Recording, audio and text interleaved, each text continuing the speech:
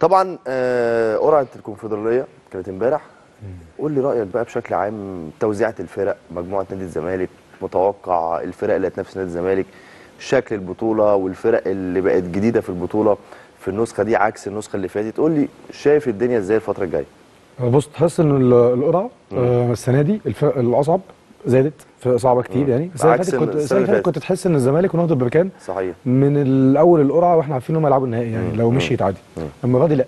لو بصينا على الاربع مجموعات لأ في فرق كتير يلعبوا نبص على مجموعة الزمالك الأول ال specification كان يعني نخصص الكلام على الزمالك. الزمالك والمصري وانيمبا والفريق الموزمبيقي ده اللي هو الماتش بتاع 3 الظهر تجيب جون في أوله.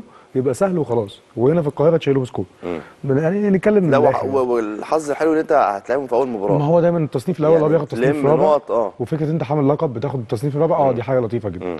المشكلة كلها أنت وقعت مع فريق مصري. بص في ليها وجهتين نظر. وأنت لازم تست- تستفيد بالميزة بتاعتها وتبعد عن اللعيب بتاعها. صحيح. الميزة إن أنت مش هتسافر هتريح. عندك انت هتسافر ماتشين بس. آه مش هتسافر في يعني فكرة انت مش في هتسافر. بره دي بتبقى لطيفة هتلعب فريق مصري وملعب هنا جميلة والدنيا جميلة. بس في حاجة تانية عيب بقى. ان الفريق المصري ده انت لما تلعب فريق افريقي هنا نسبة فوزك عليه بتبقى كتيرة جدا. ملوش جمهور مش واخد على الأجواء مش مش مش صحيح. انما لما بتلعب فريق مصري نسبة الفوز تبقى 50 50 آه حافظك وعارفك و... وعارف الملعب ده وعنده جمهور والدنيا خصوصاً كمان لما جميله يبقى نادي زي النادي المصري. ده بقى نادي كمان آه نادي عريق. كابتن علي ماهر عنده خبرات في البطولة خلاص. صفقات جامدة جدا دي. كتير لعب يعني علي ماهر نفسه لعب كتير قوي مع مع مصري ومع فيوتشر لعب البطولة دي كتير.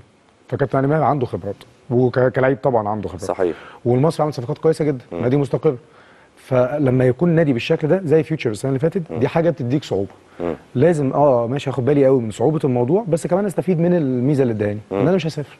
وعندي السفريات آه، سفرية أنيمبا دي آه، عارف كلاسيكيات الكره الأفريقية؟ ده ده الفريق اللي فاضل بقى نتكلم عليه. الزمالك والمصري لو عايزين يعدوا ماتش أنيمبا ده هناك آه، ده لازم يبقى ملحمة ما تغلبش الفرقتين عشان بس نوصل في ناس بتقول لك أنيمبا مش هو أنيمبا اللي أنت عارفه على السنين اللي بص فاتت اللي الناس ما يعني. تعرفوش إن هم جايبين 20 لعيب جديد. آه السنة دي. آه. يعني أنت مثلا ما فيش مرجعيه ترجع لها. يعني ما أقولكش مثلا تشكيلة كذا فاللعيب ده ده لا. كله اتغير. كله جديد أصلا. آه. بس هم واخدين منهج كده بقالهم سنتين ثلاثة عشان كده ابتدوا يرجعوا للصورة. كانوا بعدوا قوي يا خالد. كانوا بعدوا قوي يعني. آه ما بالظبط. ما في ناس.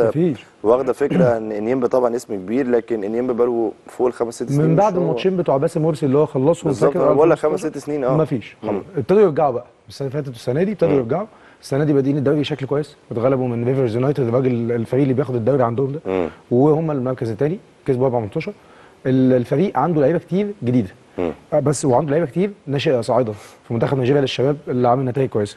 بس هي الفكرة إن الفريق دلوقتي عنده لعيبة كتير بروميسنج بيتفرجوا عليهم أندية أوروبية. اللعيبة عارفة إن في أندية أوروبية بتتفرج عليهم.